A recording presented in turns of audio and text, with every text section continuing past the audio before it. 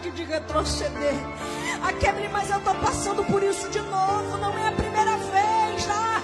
Deus manda te dizer: tem um anjo indo ao teu encontro, ele está levando uma surpresa para tua vida. E essa canção é a resposta de Deus no teu deserto. Você recebe?